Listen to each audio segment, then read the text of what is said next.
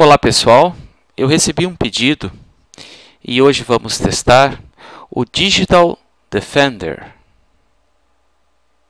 Já fiz a instalação prévia desse antivírus, foram mantidas as configurações padrão e, como sempre, nada foi alterado. Além desta aba principal, ele conta com a aba de escaneamento, de configurações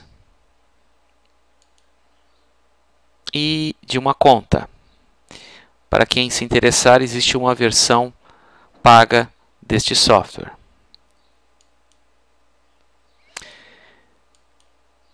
Vamos atualizar a base de dados. Eu já andei verificando que ele, a princípio, não dispõe de HIPS e conta apenas com a proteção das assinaturas.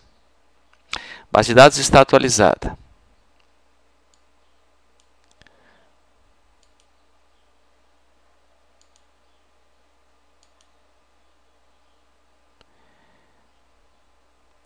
Digital Defender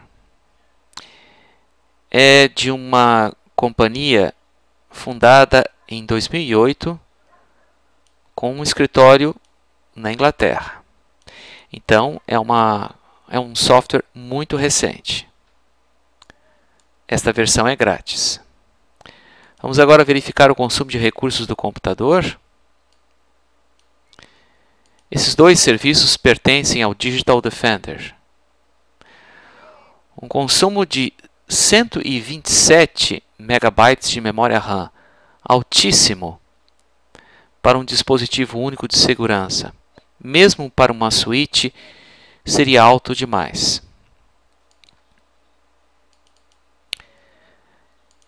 Separei aqui uma lista de links nocivos e vamos dar início ao teste e ver como o Digital Defender se comporta.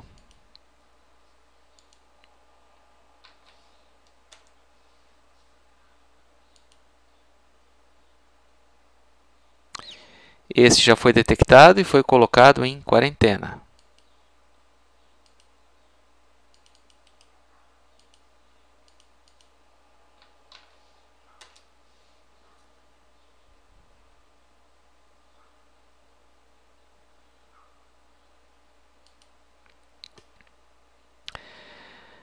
Esta é uma página falsa de escaneamento.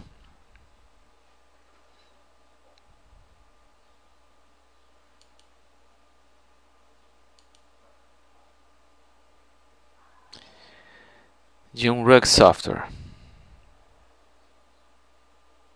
que não foi detectado pelo Digital Defender.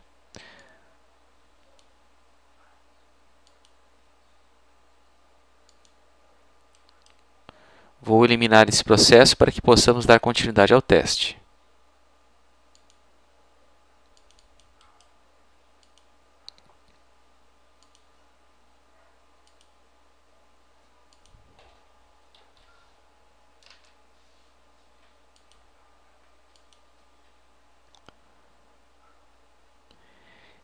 Esse arquivo está com problemas.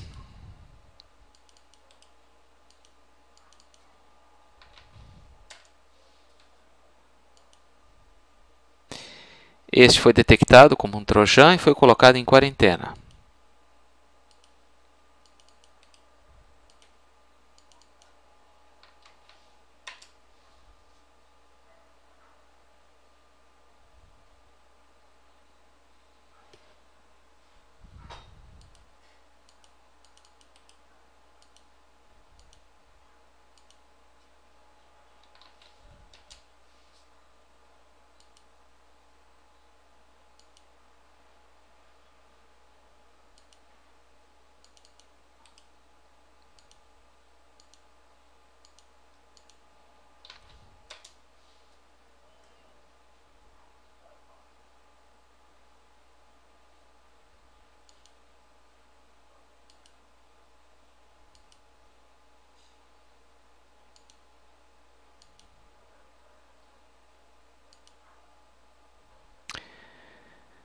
Este link está fora do ar.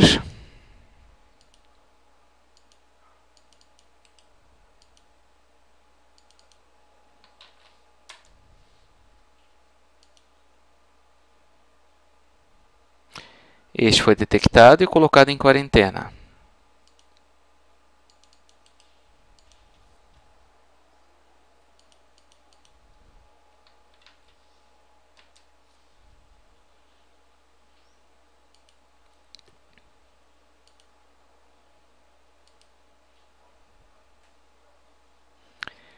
Este é um alerta do firewall do Windows.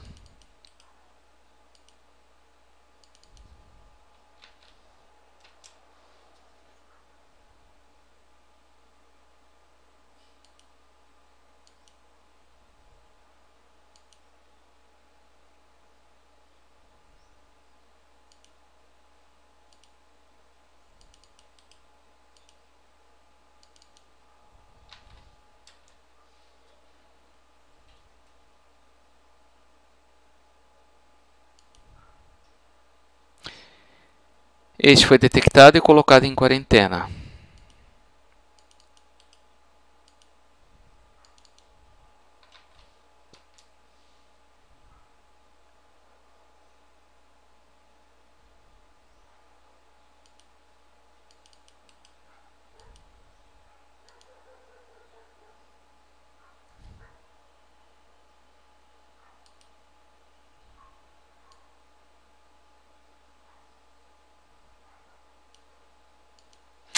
Esse link está fora do ar.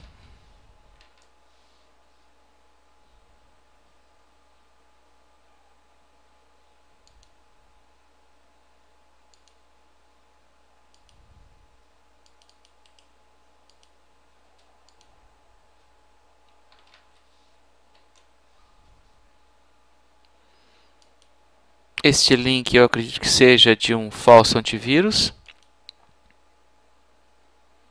Não, um trojan, que foi detectado e colocado em quarentena.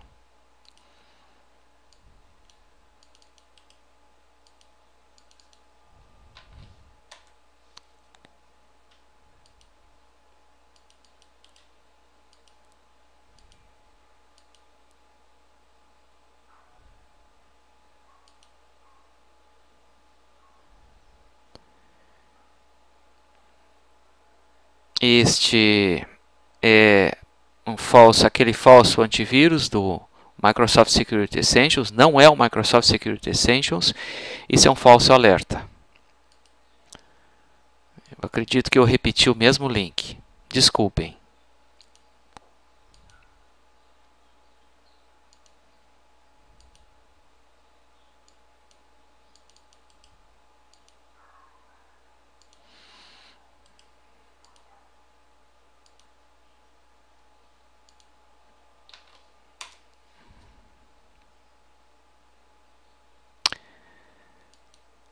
E este último também é um Rug Software.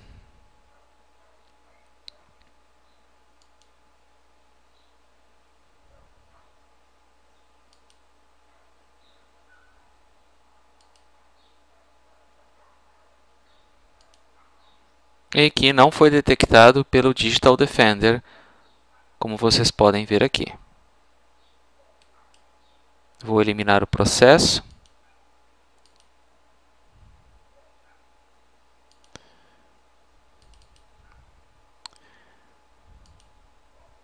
Bem, vou agora fazer um escaneamento completo do computador com o Digital Defender e retorno ao final com os resultados. Ao final do escaneamento do Digital Defender, nada foi encontrado. Vou agora reinicializar o computador. Em seguida, vou passar o CCleaner e retorno depois com os resultados do Malwarebytes.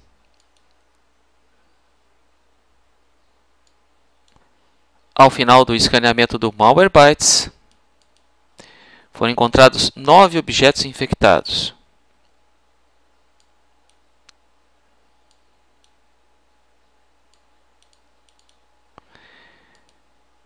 Trojan Fake AV, Spyware Passwords, Trojan Fake Alert e o Trojan Agent.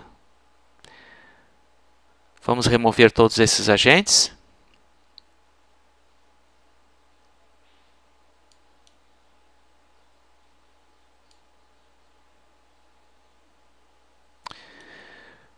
Como haviam itens presentes na memória RAM, vou reinicializar o computador agora e retorno em seguida com os resultados do Hitman Pro.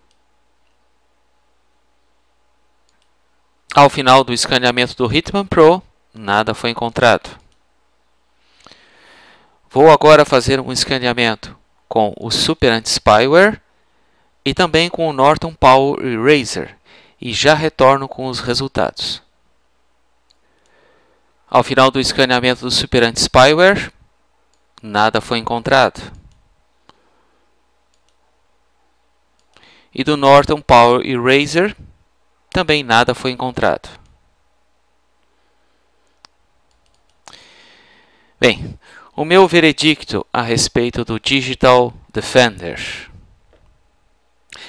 Assim como outros antivírus recentes que já testei, como o Zilia e o CMC antivírus, ele não obteve um bom resultado.